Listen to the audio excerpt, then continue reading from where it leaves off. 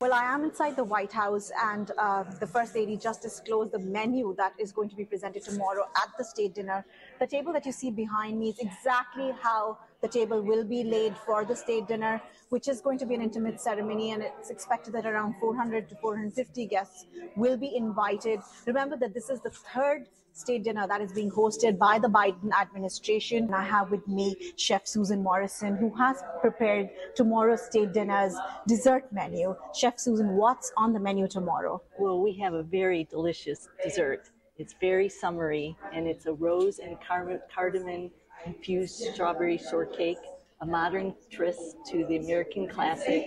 It also has um, infused uh, rose infused scented strawberries, uh, whipped coconut cream, uh, a biscuit with um, cardamom in it. And is all of this vegetarian? Yes, it is. And doesn't have egg in it? no, no egg.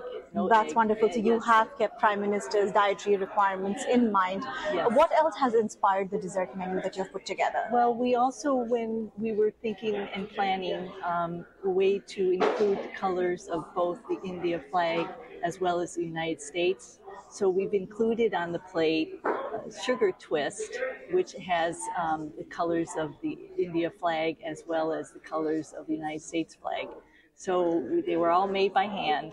Wow. all And how poured. many did you make? So we made a total of 900. 900. So there'll be Yes. 900 guests tomorrow. Well, no, we're looking at probably somewhere in the vicinity of 400, but there's one per plate. And then, of course, our hope is that as we uh, transport them, nothing gets broken, but um, we do a little bit extra just in case. Wonderful, Susan. और हमारे